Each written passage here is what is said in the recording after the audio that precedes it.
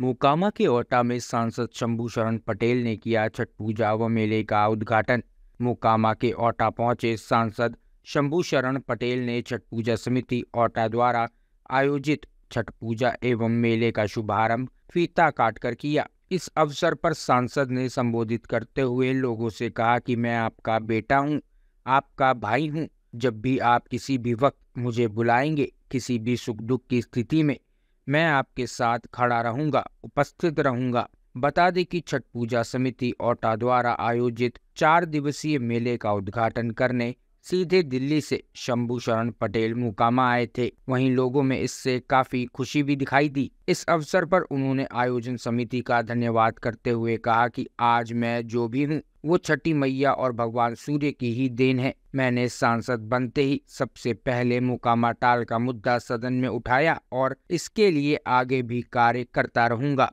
इस अवसर पर ओटा निवासी भाजपा नेता नीलेश कुमार, पवन, कुंदन कुमार व प्रीतम कुमार समेत वरिष्ठ भाजपा नेता संजय कुमार हाथीदह के मुखिया शशि शंकर शर्मा, दरियापुर के मुखिया शैलेंद्र प्रसाद, मंडल अध्यक्ष अविनाश कुमार चंदन, युवा मोर्चा मंडल अध्यक्ष रोशन कुमार समेत दर्जनों भाजपा नेता व कार्यकर्ता मौजूद रहे। के पावन अवसर पर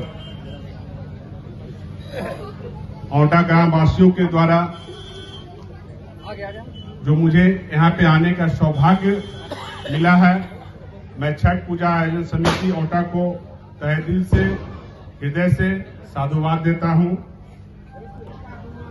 इस कार्यक्रम में उपस्थित पवन जी, प्रीतम जी, कुंदन जी, दरियापुर पंचायत के मुखिया भाई शैलेंद्र जी, हमारे भारतीय जनता पार्टी के नेता, इस मुंगेर लोकसभा के संयोजक, बड़े भाई संजय जी सीतामढ़ी की धरती से चल के आए मेरे छोटे अनुज, विकास ओझा जी, शेखपुरा भारतीय जनता पार्टी जिला के जिला उपाध्यक्ष विपिन कुमार मंडल जी तैयार है हमारे भाई रवि जी,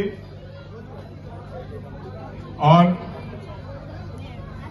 इस प्रांगण में इस सूर्य भगवान जहाँ पे अभी स्थापित हैं उनके प्रांगण में उपस्थित सभी औटा ग्राम वासियों का मैं समूह शरण पटेल, तहे दिल से आप मेरा हार्दिक अभिनंदन, वंदन ना करें। मैं आप लोगों का हार्दिक अभिनंदन और वंदन करता हूँ कि आप लोग आए और मुझे यहाँ आने का सौभाग्य दिया और आपने जो मुझे,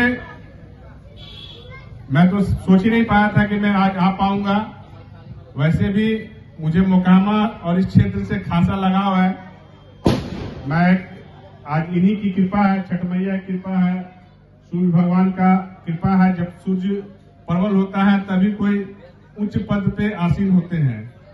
और मैं तो एक साधारण अति पिछड़ा धानु का बेटा, कभी कल्पना भी नहीं किया था कि मैं भारतीय जनता पार्टी ऐसे पार्टी से मैं देश के सर्वोच्च सदन को सुशोभित करूँगा। सभा में पहली बार बोलने का मौका मिला तो मैंने इसी क्षेत्र जो, का जो समस्या है, टाल सबकी जो पानी, जो जो पानी, यहाँ के पानी की समस्या है, जो पानी निकल नहीं पाता है ड्रेनेज का जो समस्या है, उस समस्या को मैंने राज्यसभा में उठाने का कार्य किया।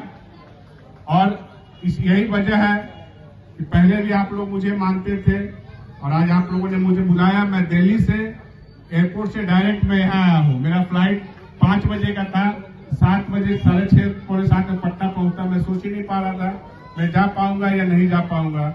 लेकिन माँ का कृपा है खरना का, आज प्रसाद ग्रहण करना था सूर्य भगवान का दर्शन करना था फिर मैंने वो टिकट कैंसिल करवा के दो पच्चीस का लिया। पहले से पूरा किया फिर मैं यहाँ आया। और मैं बहुत ज़्यादा भाषण नहीं दे पाता हूँ, लेकिन इतना आश्वस्त ज़रूर करूँगा आप सभी लोगों को, कि आप मुझे जब भी बुलाएँगे, सुख में बुलाएँ, दुख में बुलाएँ, जिन परिस्थिति में बुलाएँगे, हम लोग यहाँ कहा जाता है तो शेखपुरा मेरा पैतृक घर है। पान में तो पान के घंटियों लेके खड़ा रह वो। लेकिन आएगो ज़रूर। आपके हर सुख दुख में हमेशा जो है खड़े रहेंगे। और आप लोगों का कृपा है सूर्य भगवान की कृपा है कि मैं अभी 2028 तक राज्यसभा का सांसद हूँ। और मैं सबसे जूनियर राज्यसभा का सांसद हूँ अपनी भारतीय जनता पार्टी में। तो आप लोग का आशीर्वाद से इसी तरह बना रहे।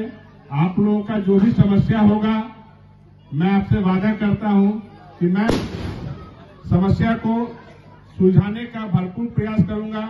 आप, आपके सुख में शामिल हूँ, हो पाऊँ या ना हो पाऊँ, आपके हर दुख में मैं खड़ा रहूँगा। एक बेटा बनकर, एक भाई बनकर, इसी सब शब्दों के साथ मैं पुनः आप लोगों को छठ पूजा की बधाई देते हुए अपनी वाणी को विराम देता हूँ। जय हिंद, जय भारत। धन्यवाद अगर आपको हमारा वीडियो पसंद आया हो तो इसे लाइक करें सब्सक्राइब करें और साथ ही बेल आइकन दबाना ना भूलें।